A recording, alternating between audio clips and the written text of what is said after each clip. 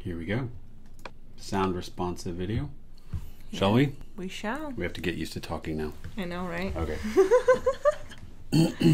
okay, so the first one is going to be this how to just for we're going to build sound responsive videos and that means we're going to build videos, we're going to build a video player that res- that uses the microphone input as its control source.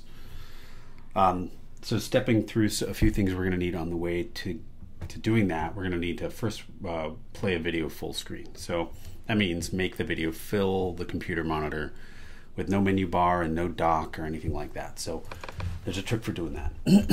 Excuse me. All right, so I'm going to load up a video called Train Footage JPEG into jit.movie here, and um, we'll uh, we'll control it with a qmetro to play the play the frames back, and then uh, we can change the playback rate and the frame numbers. But let's just load it up here. So turn on the qmetro to see the video. We have the video playing here. So here it's playing in a pwindow, patcher window, which I can squash and stretch and change the scale of. But that's fixed to the screen, uh, uh, to the to the patcher.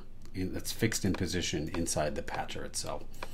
If I make a jit.window, uh, it can play. If I double click on this, it'll you can see it makes an external window. I've just titled uh, titled this window David. So one of the arguments you have to give it is the name of the window. If you don't, it'll just be some random string of characters.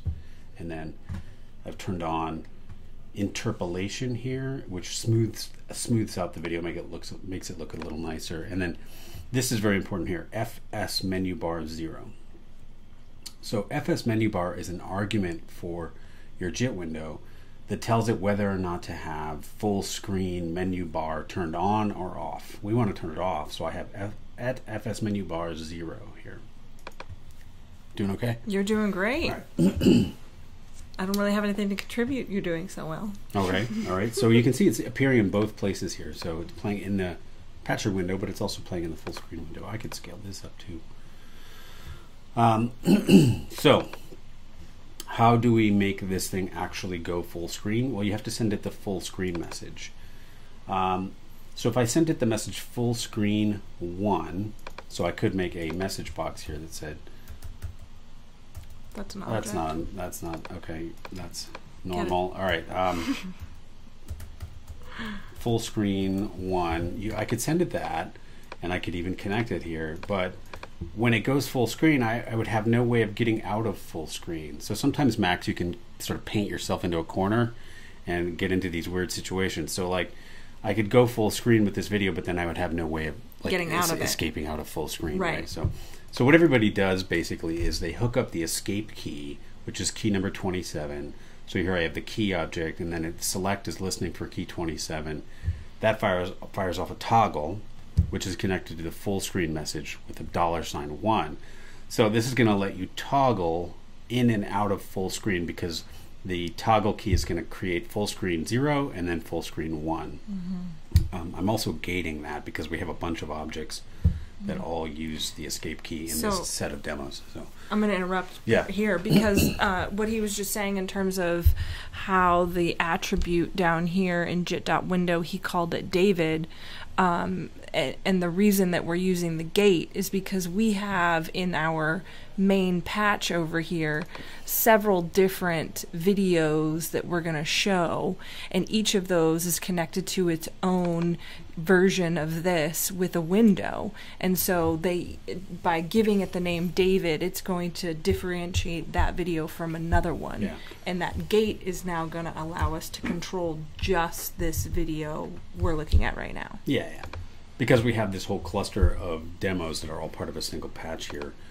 If you have a bunch of things that are all responding to the escape key, they're all going to respond to the escape key with, because they're all running right now. So we put in the gate here. So, all right, so let's look, open the gate. and then when I hit escape, this should go completely full screen.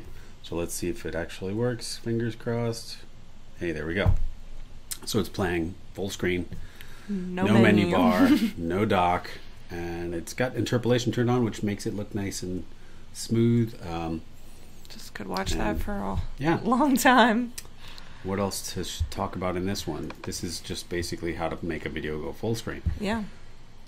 It's hard to describe painting yourself into a corner. Yeah. most people will experience it, and the experience of it will be that you go full screen and then you realize there's Can't no get out of there's it. No way to get out of full screen. Mm-hmm. And plenty of times I've had to like command Q and like just quit Max Right. and you know, and and and if you're only using one patcher with one JIT window, you can surpass the gate altogether, and then your you know your full screen message can plug directly. Your patch cord can go directly into JIT.movie. yeah, typically you don't need the gate there. Yeah. Right.